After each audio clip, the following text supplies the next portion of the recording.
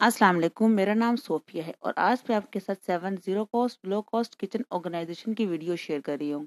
सबसे पहले मैं प्लास्टिक फोल्डिंग रैक बना रही हूँ। प्लास्टिक फोल्डिंग रैक को बनाने के लिए मैं यहाँ पे चॉकलेट बॉक्स यूज़ कर रही हूँ। आप चाहे तो प्लास्टिक ट्रे भी इस्तेमाल कर सकती हैं। नेक्स्ट, आप हम इनके लेग्स देंगे। लेग्स देने के लिए मैं मेटल वायर यूज़ कर रही हूँ। आप चाहे तो प्लास्टिक हैंगर को भी इस्तेमाल कर सकते हैं।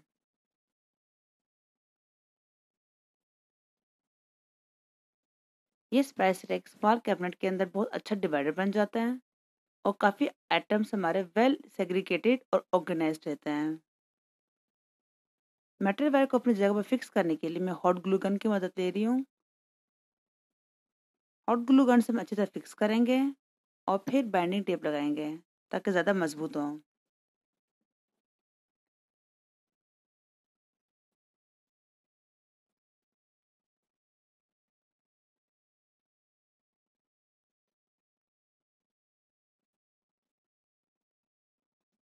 मेरा ये ऑर्गेनाइजर रेडी हो चुका है, लेकिन अपनी जगह पर रखने से पहले मैं इस पर सिलिकॉन जेल यूज़ करूँगी।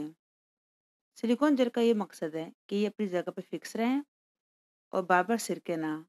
आप चाहे तो यू एच यू या इवन चुंगम भी यूज़ कर सकती हैं। और मैं यहाँ पे ऑर्गेनाइजर रेडी हो चुका है। पसंद है तो ज़रूर लाइक का बटन दबा दें। Next empty jam jar for spices spices को ऑर्गेनाइज करने के लिए मैं जैम की बोतल को यूज़ करती हूँ। इससे ये बहुत विजिबल रहते हैं। ये लॉन्ग लास्टिंग है ड्यूरेबल है और काफ़ी अच्छे तरीके से रहते हैं। आप चाहे तो इनके लिड्स को सेम कलर भी दे सकती हैं। Next spice rack for thermocol sheet अक्सर हमारे कैबिनेट के अंदर मसाले पड़े होते हैं और पीछे पड़े हुए मसालों को ढूँढने के लिए हम तमाम कैबिनेट में मौजूद स्पाइसेस को आगे पीछे करते हैं। लिहाजा आप इसके तोड़ के लिए मैं यहाँ पे थर्मोपोल शीट यूज़ कर रही हूँ। अपने कैबिनेट के मुताबिक मेयर कर लेने के बाद मैंने इसे कट किया और कट कर लेने के बाद अब मैंने कवर करूँगी। कवर करने के लिए मैं यहाँ पे अखबार यूज़ कर रही हूँ। आप चाहे तो वॉलपेपर भी यूज़ कर सकती हैं। जर्मन ग्लू से मैंने मजबूती देंगे। और इससे हमारे ये स्पाइसेस के स्टेप रेडी हो जाएँगे। मैं दो थर्मापोल की मदद से एक, दो और तीन अपने स्पाइसेस को ऑर्गेनाइज करके रखूँगी लाइक अ स्टेयर इस तरह से। इससे से पीछे मौजूद तमाम स्पाइसेस बिल्कुल विजिबल रहते हैं और वेल ऑर्गेनाइज रहते हैं। आई होप कि आपको ऑर्गेनाइजर बहुत पसंद आई होगा। ये बिल्कुल ज़ीरो कॉस्ट लो कॉस्ट के अंदर एक वेल ऑर्गेनाइज ऑर्गेनाइजर रेडी हो चुका है। Like a professional. Next plastic lid organization from shopping bags अक्सर मेरे पास कुछ इस तरह के शॉपिंग बैग्स आते हैं घर पे। आप इससे बड़े ज़बरदस्त ऑर्गेनाइज़र भी बना सकते हैं। लेकिन यहाँ पे मैं प्लास्टिक लिड को ऑर्गेनाइज करने के लिए शॉपिंग बैग और ये आटे के बोरे को ले रही हूँ। मैं इनके एजेस को ट्रिम करूँगी और उस आटे के बोरे की मदद से इसे मजबूती दूँगी।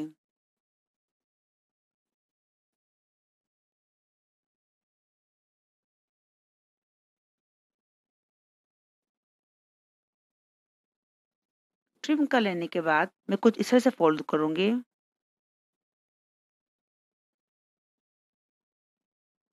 कि एक रेक्टेंगुलर पीस से मैं दो पॉकेट बनाऊँगी। एक स्मॉल साइज़ पॉकेट है और एक large size pocket small pockets के अंदर मैं स्मॉल लिड्स डालूँगी और लार्ज पॉकेट के अंदर लार्ज लिड्स रखेंगे। एंड देन इसे स्टिच करेंगे। आप चाहे तो चावल की बोरे को भी इस्तेमाल करें। स्टिचिंग का ये फ़ायदा है कि ज़्यादा मज़बूत रहेंगे, ज़्यादा ड्यूरेबल रहेंगे।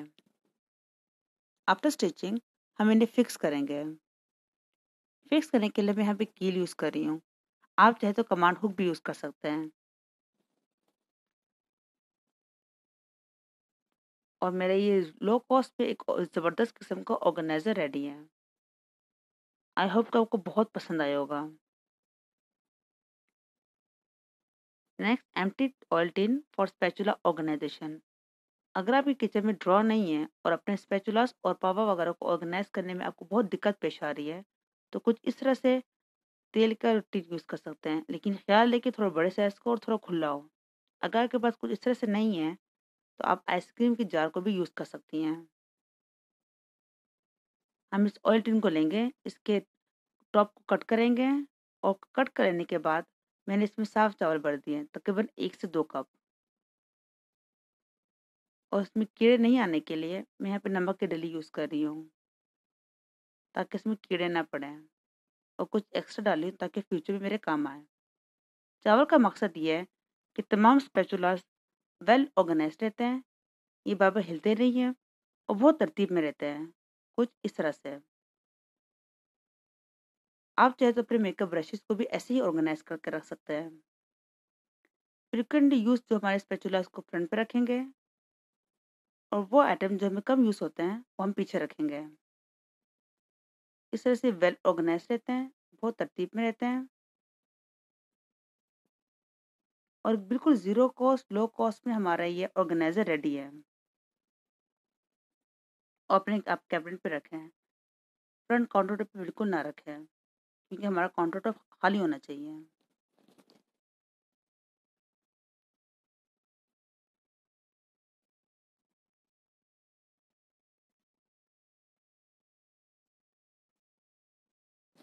Next empty oil bottle as separator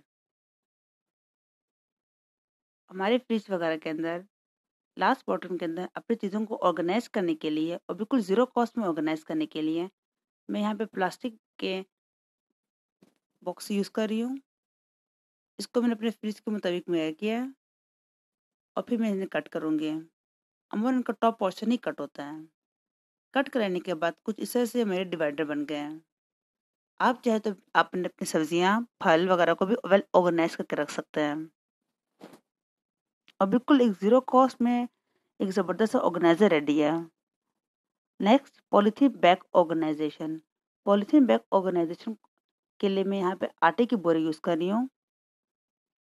और उसमें मैंने लेबलिंग की है small size polythene bag and large size polythene bag और इस तरह से बिल्कुल एक ज़ीरो कॉस्ट में मेरा एक ऑर्गेनाइज़र रेडी है। आप चाहे तो अपने रैक में रखें कैबिनेट के अंदर रखें, दरवाजे के पीछे रखें, या इवन अपने कमांड हुक लगाकर कुछ इस तरह से भी ऑर्गेनाइज करके रख सकती हैं। आप चाहे तो प्लास्टिक बोतल को भी यूज़ कर सकती हैं। टॉप वाले पोर्शन को आप इसे कट कर लें और अपने तमाम पॉलिथीन बैग को ऑर्गेनाइज करके रखें। आई होप कि आपको तमाम ऑर्गेनाइज़र बहुत पसंद आए होंगे। आपसे इंशाल्लाह नेक्स्ट वीडियो में फिर मुलाकात होगी। कमेंट करके बताइए कौन सा ऑर्गेनाइजर आपको सबसे ज़्यादा पसंद आया।